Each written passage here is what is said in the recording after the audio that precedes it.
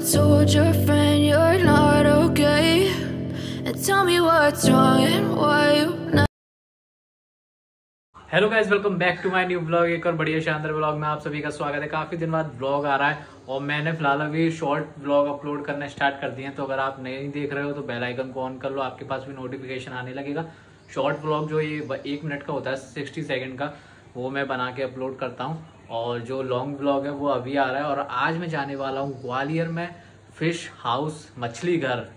यहाँ पर जैसे दुबई में या बाहर कहीं जाते हैं तो वहाँ पर बड़े बड़े एक्वेरियम्स होते हैं, उसमें जो मछलियों को रखा जाता है, वहाँ का टिकट लगता है। ऐसा ही एक ग्वालियर में भी ओपन हुआ है अभी फ़िलहाल। ये शायद 10 या 12 साल बाद अब रीओपन हुआ है। पहले भी था जब मैं छोटा था, तब मैं देख कर आया था। तो ये विक्टोरिया मार्केट के पास, फूलबाग फूलबाग के पास में ही है कहीं। तो आज मैं वहीं जाने वाला हूँ अपने दोस्त के साथ और दिखाता हूँ आपको भी कि कैसा क्या है। अंदर से भी दिखाऊँगा। तो देखते हैं जिस हिसाब से बता रहे हैं कि वैसा है या नहीं है। तो पूरे ब्लॉग में बने रहना वहीं चलने वाले हैं। बस अभी फ़िलहाल मैं रेडी हो गया हूँ अब मैं दोस्त के यहाँ जा रहा हूँ उसको लेते हैं फिर निकलते हैं और आपको भी दिखाते हैं। ब्लॉग को अभी से लाइक कर देना। गाड़ी स्टार्ट कर। तो मिल गया अपना विकास भाई। विकास भाई कहाँ चल रहे हैं अपन? पता नहीं भाई तू ले जा रहा है मछली घर जा रहे हैं अभी हम। ये भी इसको भी नहीं पता ना मुझे भी ज़्यादा नहीं पता कि कैसा क्या वहाँ सिस्टम चल के आपको भी दिखाते हैं। लेट्स गो टिकट लगती है लेकिन वहाँ की है? क्या बात कर रहा है? कितने अब ये पता नहीं यार वहाँ जाके देखते हैं। पाँच दस होंगे चलो। मौसम तो सही हो रहा है लेकिन फ़िलहाल धूप निकल आई तो चलते गर्मी हैं। लग रही है फ़िलहाल हम पहुँच गए ये हमारे सामने मछली घर इसका नाम मछली घर है तो मैंने सही गैस करा था। तो यहाँ छोटू क्या हाल चाल अच्छा है। अच्छा है डांस करके दिखा रहे अभी ये भाई डांस करके दिखा रहा था। क्या देख रहे हो? ये भी डांस कर रहा था ऋतिक रोशन लग रहा है तो भाई? तो ये देखो सामने मछली घर एक्वेरियम अंदर चलते हैं देखते हैं टिकट कितना क्या है। और उसके बाद दिखाते हैं आपको अंदर का नज़ारा। तो हमने दो टिकट ले लिए और ये पड़े हैं हमको चालीस रुपए का एक टिकट है। पड़े क्या? फिक्स ही। प्राइस है तो है। नहीं गाय जी पचास का बता था मैं मोल भाव करके चालीस के लगवा लिए। यो जोगिंदर यो जोगिंदर। इतने चोंटे मारूँगा इतने चोंटे मार यो थारा भाई जोगिंदर। मछली घर जाने का रास्ता इधर से है ठीक है? और कुछ? गाइस ये है देखो बाहर का कुछ व्यू ऐसा। और ये है सोनरेखा नदी हमारी। नदी तो नहीं है नाला कह सकते हैं उसको नाला ही बना है। कभी नदी तो हमने देखी नहीं है। और ये देखो ये है गेट। तो अंदर चलते हैं देखते हैं क्या है कैसा सिस्टम है।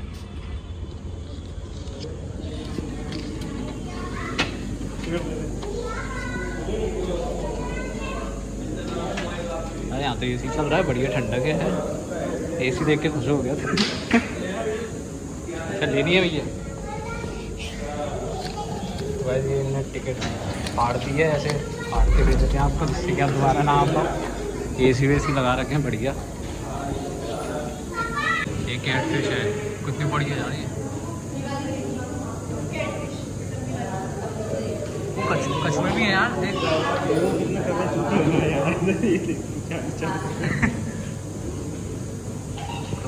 कछुए भी हैं।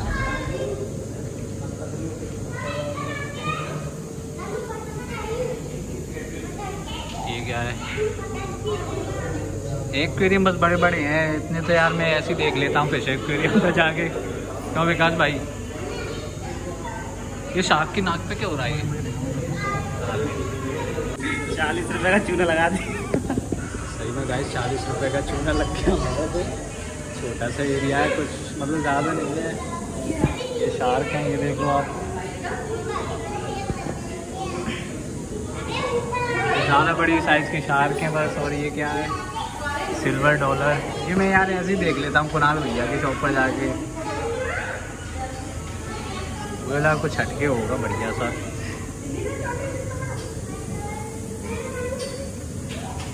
ये ये जानता है तू ये कौन सी है ये जानता है। कौन है?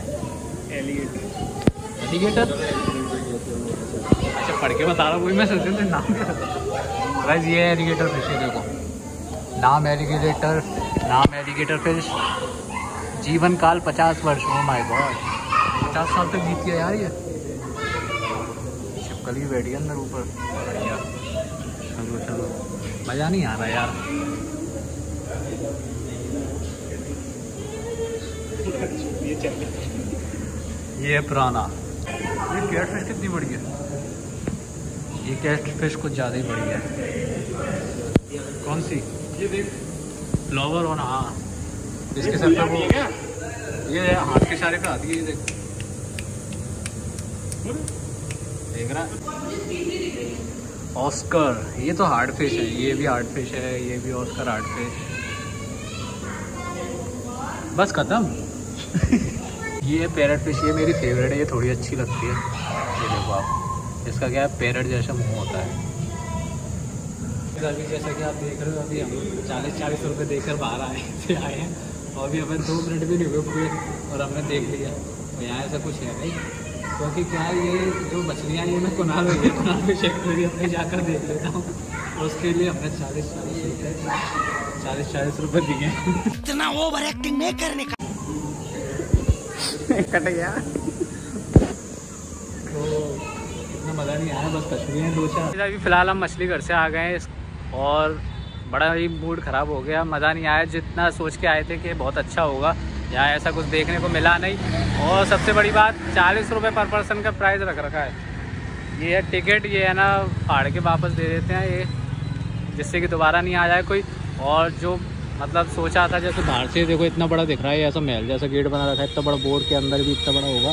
जबकि अंदर जाके ये ऐसा नीचे को उतर के बस थोड़ा सा चैम्बर है जो कि मैंने आपको वीडियो में दिखाई दिया है। तो अगर आप आ रहे हो तो एक बार इस वीडियो को देख लेना और शेयर भी कर दो। अंदर टैंक भी गंदे हो रहे थे, कांच गंदा हो रहा था कुछ कुछ मछलियाँ दिखी नहीं रही थी क्लियर और बहुत छोटा एरिया था, दस टैंक थे। तो मैं तो आपसे कहूँगा, अगर आपको ऐसे देखना है तो आप किसी भी फ़िश एक्वेरियम की शॉप पर चले जाना, इससे ज़्यादा एक्वेरियम मिल जाएँगे वहाँ पर। मुझे तो देखना था ये कैसा क्या है जबकि मैंने तो सारी फिशेज़ और कछुए टर्टल सब देख रखे हैं। मेरे को ब्लॉग बनाना था आप लोगों को दिखाना था और ये क्या कर रहा है? क्या कहना चाहता है तू इसके बारे में बता मछली घर के बारे में?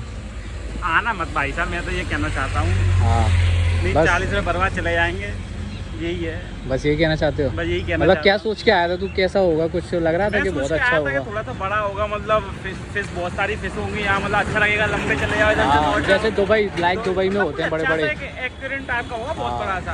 तो गोले में भरा हुआ था तुमने वीडियो में देख ही लिया होगा बहुत बकवास। गोले में भी बस इतना सा गिनती के दस एक्वेरियम और बीच में थोड़ी सी जगह उसमें भी मतलब सफ़ाई नहीं थी अच्छी सी बस एसी लगा रखा और कुछ नहीं है।